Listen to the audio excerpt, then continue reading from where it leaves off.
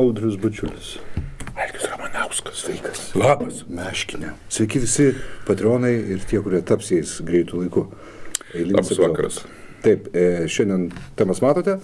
Pradėkime nieko negaižome. Jūs matote, kad mes specialiai nenaudojam jokių nei viniečių, nei ką mes galėtume sukurti ten 15, ten 20, 30 sekundžių video, bet kam to reikia? Tai laiko gaišimas. Aš, žinok, pavyzdžiui, baisiai nekenčiu tų laidų YouTube, kurios prasideda kažkokiais tai muzikėlėm, grojimais, dar kažkuo, tai jo, jo, jo. jo. Jo. Aš kažkaip prastumiu. Laikas yra pinigai. Tai pirma tema - Möllerio tyrimų galas. Ja.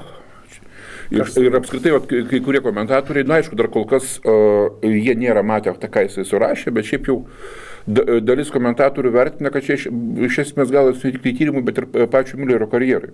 Dabar žiūrėk, du metus Mes galim truputį įvesti kontekstą. Taip. Patronus, kurie Taip, taip, taip, taip. Ir žodžiu, o, penktadienio vakare specialusis prokuroras o, Mülleris, kuris tyrė, ieškojo Trumpo aplinkos ir Rusijos bendradarbiavimo tam, kad Trumpas būtų išrinktas prezidentu, pristatė savo 22 mėnesius trukusį e, e, tyrimą generaliniam prokurorui Barui. Tai yra tyrimas baigtas, taškas padėtas, dabar baras e, kartu su tiesiogiai prižiūrėjusiu e, e, tyrimą savo pavaduotoju Rosensteinu peržiūrės jį visą, na, nes, jie, nes reikia suprasti, kad tyrimą atliko Mülleris, tačiau atsakingas už jį yra generalinis prokuroras, jisai eis su juo į senatą ir kongresą. Ir šiam momentui kol kas yra aiškus vienas faktas, jokių daugiau kaltinimų Mülleris niekam nepateiks. Dar viso labo prieš dvi savaitės buvo masiškai spekuliuojama, kad na, galbūt Trumpą jaunesnį apkaltins, galbūt Džentą Kušnerį apkaltins ko nors, gal dar kažkuo tai, o gal net patį Trumpą įsikvies liūdį ir tinį pagaus ant susipainiojusio liežuvio. Nieko. Nieko. Šiaip jau liūdėsiukai šiandien uh, Amerikos kairiojo žiniasklaidoje eina žiaurus. Twitter'e Hebra jau rašo, kad uh, čia viskas tikriausiai todėl, kad Rusija rado kažkokį tai kompromato ant Trumpo ir ant šito, ant, uh, ant Müllerio. Ir Mülleris dabar šoka pagal rusų dudelę.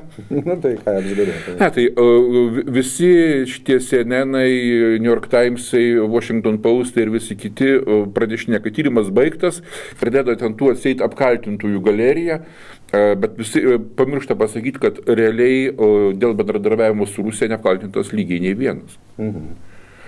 Uh, Keli, uh, nu, kaip patys didžiausi kaltinimai yra buvusiam uh, kurį laiką Trumpo rinkimų kampanijos vadovui Manafortui, už tai, kad jis, e, kai dirbo Ukrainoje, balažin kuriais laikais ir padėjo Janukovičiui kurti gerą įvaizdį, ypatingai vakaruose, kad jisai toksai neprorusiškas, o proeuropietiškas, nesusimokėjo mokesčių. Nu, tvarko, mokesčių slėpti yra negerai, tai yra vienas didžiausių nusikaltimų Amerikoje. Tačiau su o, rusų kišimus į Amerikos rinkimus ar to labiau pagalba Trumpui tai niekaip nesusiję. Analogiškai yra patikti e, e, kriminaliniai kaltinimai e, mokesčių vengimu ir ten kitais finansiniais susikaltimais mm, šitam buvusiam ilgamečiam Trumpo advokatui. Bet vėlgi tai niekaip nėra susijęs su Rusijos kišimusi ar rusiška pagalba. Paprasčiau šnekant, pirmas punktas, kuris buvo įrašytas ko- kongreso įsakymę Mülleriui pradėti tyrimą, buvo jam nustatytas surasti Rusijos ir Trumpo rinkimų kampanijos dalyvių bendradarbiavimo įrodymus. Nieko nerado. Taškas. Svarbiausia, kad, kad jisai nieko neras, tai buvo Tai tas tyrimas truko, čia pusantrų metų, ne? Ne, jisai, pats tas tyrimas, konkrečiai Liurių tyrimas truko 22 mėnesius. Tai yra be dviejų mėnesių dviejus metus. Jo. Bet turint galvoje, kad iki oficialaus tyrimo pradžios o, Trumpo rinkimų kampaniją šnipinėjo federalinis tyrimų biuras, tai realiai virš dviejų metų. Ir nieko nerasta. Mhm. Absoliučiai. Randėt, ne veltui praeitą savaitę buvo apklausos, 50 procentų amerikiečių yra įsitikinę, kad tai buvo prašiausia raganų medžioklė. Bet vat, ką, ką jie padarė labai blogo, a, kada kaip jie suskaldė Amerikos visuomenę tų visų tyrimų savo.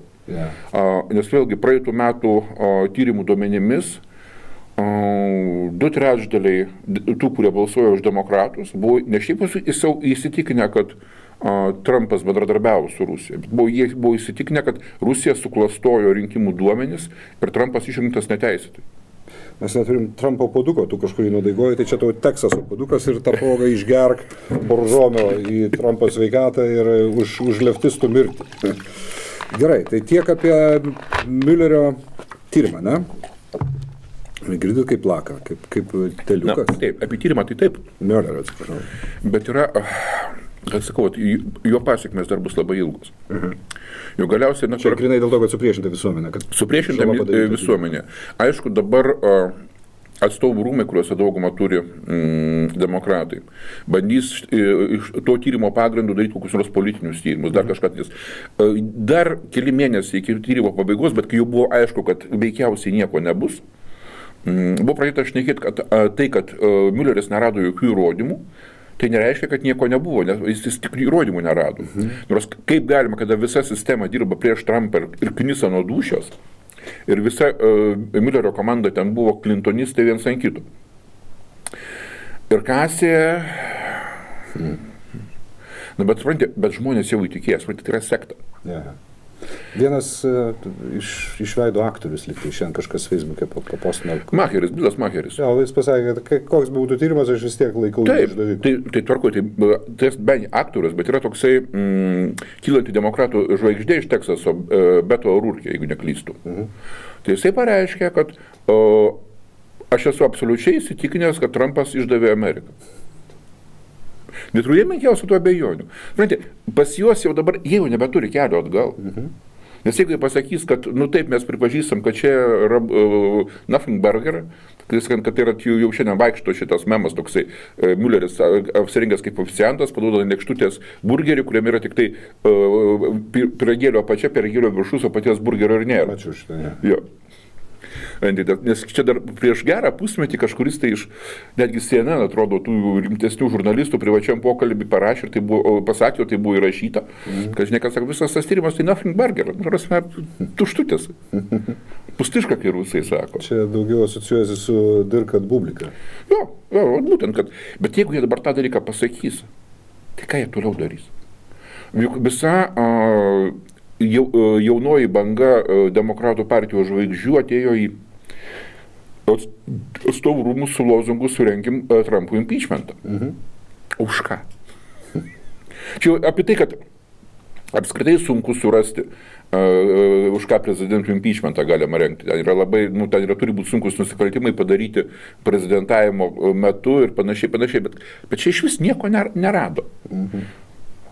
Juk visi, aš dar atsimenu prieš kelis mėnesius čia, mūsų šitą, uh, kaip aš vadinu, prisiusioto Obamos šiūžinio sektą, Geltono lietučio. Tai jie- Nu, tai čia auksinių lietučių, čia aš jau taip kultūringai pervadinu, bet paskui žiūriu, da- daugelis nesupranta, kas, kas yra tas auksinis lietutis. Tai, kas eina ten, tavo draugas Gritienas, aišku, Paulius. ne, tai, nu, tai pagrindiniai, tai, tai buvo kas, Mykolas Katkus, um, šitas, pala, ko jie dabar. Taip, Nerijus Maliukevičius, Vykintas Pugačiauskas, Aurelijus Katkevičius, Marius Laurinavičius, Rimantas Pleikys, nu ir ten smulkesni, bet čia tokie jau iš, iš tų ryškesniųjų. Irgi jau atlikė pas mane, tai tas pats Mykolas, nu kaip jisai, nebūt peršikas, irgi pavarė tą patį. Nu ką tu čia sakai, kad maždaug, kad nieko nebuvo, bet vis tiek tiek kaltinimų jau pateikta. Mhm. Nu, taip, nu, kad tie kaltinimai ne už tai, ko buvo ieškoti ir kad ten iš vis daug, dauguma už smulkų apsimelavimą. Tad viena iš vis, uh, kiek ten savaitėje buvo nuteistas uh, uh, kalėjimo, kitas 5000 dolerių baudą susimokėjo, nu va, va, va tokio to, dydžio kaltinimai. Nu, Gerai. Bet, bet šitie žmonės ir, ir mūsiškai miškiniso smegenys. Ir pas mus daugybė žmonių yra įsitikinę, kad uh, Amerikai dabar vadovauja, supranti, Putino statytinis. Taip. Tai, tai, tai, tai, tai, tai yra iš esmės pasikėsinimas į Lietuvos nacionalinį saugumą. Mhm. Pakirtimas pasitikėjimo pagrindinių uh, mūsų sąjungininkų. Kas be tavęs dar gina Trumpą Lietuvoje? Laučius, Laučius. jo, o iš tokių, vat, kur matoma būtų, tai šiaip kaip penki. Užkalnis. O teisingai, Andrius Užkalnis, Jėzau, kaip aš jį galėjau pamiršti. Mhm. Bet jis dabar užsėmė savo šuniu. O viešuo manęs nemėgsta. jis man Kaip, sakė. kaip jis mane plojo, kad tu žinotum. Delfija buvo Audrius ir atėjo Andrius su šuniuku. Ir šuniukas užsipuolė šitą behemotą.